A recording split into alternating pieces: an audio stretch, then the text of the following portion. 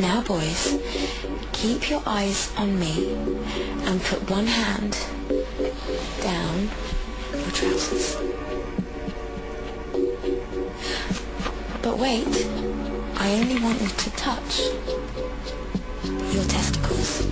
I want you to give them a good feel. Okay. Now, I want you to cup each one in the palm of your hand. To the size and the weight of it. Then gently take it and roll it between your thumb and your forefinger. You're feeling for any unusual lumps or bumps, or more importantly, any recent changes. And it's important to do this regularly. See?